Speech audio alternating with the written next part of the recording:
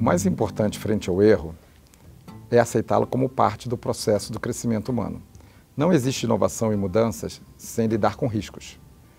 O que realmente importa é qual era a intenção positiva por trás da atitude que foi tomada. Adote uma postura e uma abordagem construtiva. Não busque culpados, não busque pela punição. Na verdade, reflita junto com o time sobre a experiência, tire lições aprendidas e busque alternativas de solução. Se o processo todo te levou a uma situação de crise, é fundamental que você estanque o problema com uma ação imediata, para na sequência poder tratar a, a causa raiz de uma forma mais tranquila. Outra coisa que é fundamental nesse processo é a comunicação para todos os envolvidos. Garanta que todo mundo está ciente do que está sendo feito e como o problema vem sendo tratado.